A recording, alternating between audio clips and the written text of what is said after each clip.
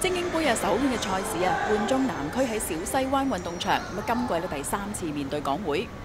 由於咧六日之內咧要面對三場嘅賽事啊，冠忠南區咧喺今場喺人腳上面咧都有所調整。擔任隊長嘅林浩君啦，同埋門將李日俊啊，喺今季咧就首度以正選嘅身份上陣。之前呢，就已經係兩勝港會，冠忠南區咧今次咧仍然都有較多嘅攻勢。咁第一次攻門呢，就係嚟自梁子成啊，咁但係就偏離目標。跟住啦，就梁子俊呢接应迪基图嘅传送，落到去右路传中啊，和達就喺前處慢咗半步，最后就被港會嘅守卫解围。挨过咗冠中南区一轮嘅攻势之后啦，咁啊港會咧都有机会打开纪录噶。白志杰啦推入禁区左路集位起脚高出。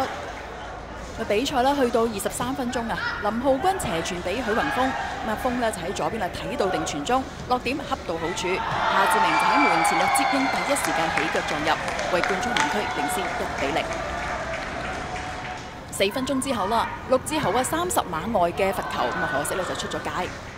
其實啦，港會咧都有好多機會可以喺上半場完結之前攀平㗎。占士比查門前近射竟然高出咗。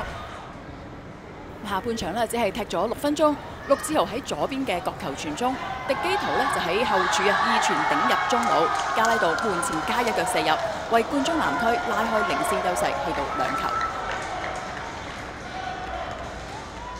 完場前九分鐘，咁一隊後備入替嘅球員呢，差啲都有進帳㗎。郭廷謙啦開出角球，比圖一頂，咁可惜啦就被救出。喺補時階段，港會罰球傳入禁區，出現咗一片混亂㗎。但係港會球員轉身掛射就僅僅高出，未能夠破板。最終南區以二比零擊敗港會，晉級八強。咁對手將會係李文流浪。